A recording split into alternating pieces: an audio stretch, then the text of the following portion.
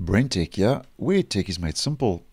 Microsoft have started to roll out the latest and second optional bug fix C-release update for Windows 11 version 22H2.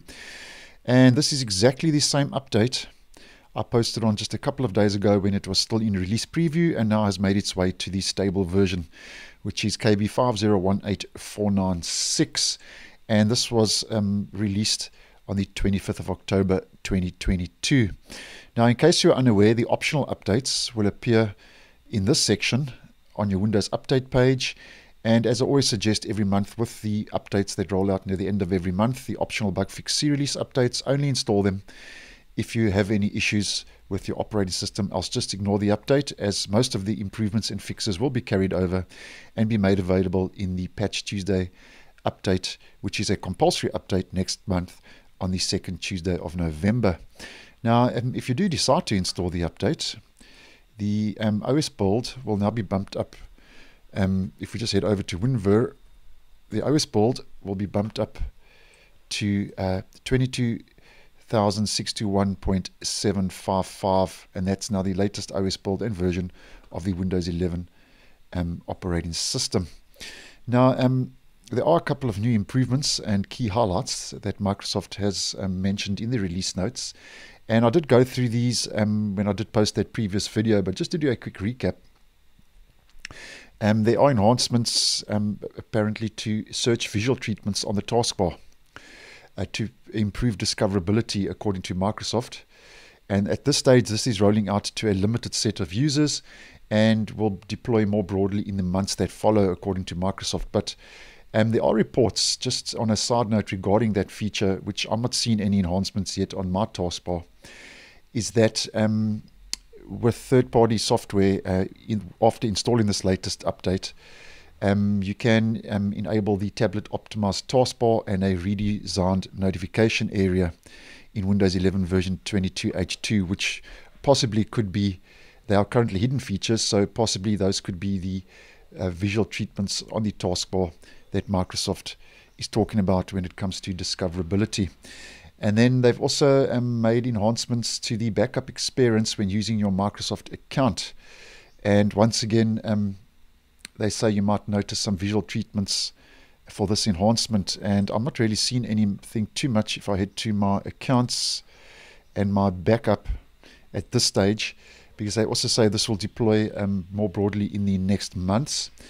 And then they've also made improvements um, to the Microsoft account experience in the settings. Um, as an example, Microsoft says you can manage your Microsoft OneDrive subscription and related storage alerts. And then I think the big one with this update, which is rolling out over the coming weeks, is um, the right click taskbar context menu will start getting the task manager setting. Now, um, this will roll out over the next coming weeks. So if you're not seeing uh, this new feature, then um, you will, um, as mentioned, get it um, in due course. And that just gives you a right click um, shortcut now to the task manager, which is a highly requested feature that Microsoft um, has now started to roll out. And I think that would be the key highlight for this um, update. And if you are not seeing the task manager setting yet, um, I'll have actually posted a video where you can make some tweaks to the registry, which will um, bring this uh, task manager setting to the right click context menu of the taskbar. And I'll leave a link in the, in the description to that video if that would be of interest, if you want to get that feature sooner than later.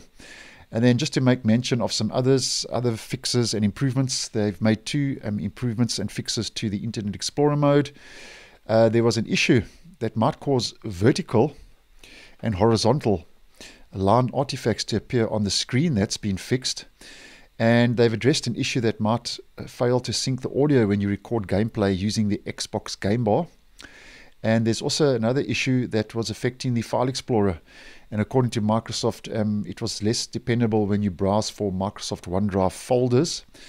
And then um, there was an issue regarding the Start menu uh, it was uh, it had stopped working when you used keyboard commands to move pinned items to a folder at the end of a list. Apparently, that's been addressed. And then um, they've made improvements to the daylight saving time in Jordan. So it stops the start of daylight saving time in Jordan at the end of October 2022. And then just one other notable mention. Um, a couple of days ago, Microsoft rolled out an out of band update, which I did post on, to address a network connectivity issue. And um, that's also being addressed now in this latest bug fix update. And the official release notes say they addressed an issue that might affect some types of secure sockets, layer SSL, and transport layer security TLS connections. These connections might have handshake failures. So if you have been experiencing any network connectivity issues, uh, do yourself a favor and just make sure you have this update installed. As um, according to Microsoft, that issue now has been addressed. So that's more or less what's new?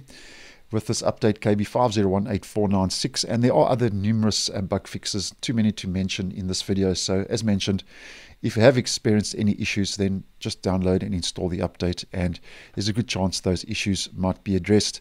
And as mentioned the task manager um, taskbar setting now also starting to roll out with this update. So thanks for watching and I will see you in the next one